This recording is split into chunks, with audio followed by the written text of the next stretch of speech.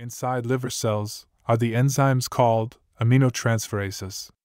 There are two types alanine aminotransferase, or ALT, and aspartate aminotransferase, or AST. Their rise suggests hepatocyte damage.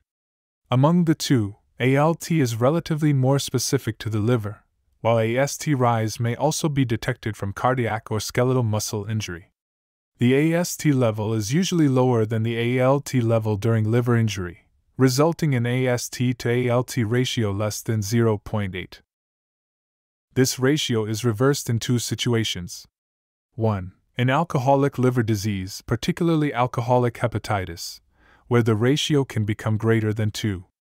The second situation in which AST to ALT ratio reverses is advanced fibrosis in non alcohol related liver disease, such as hepatitis C, or non alcohol related fatty liver disease.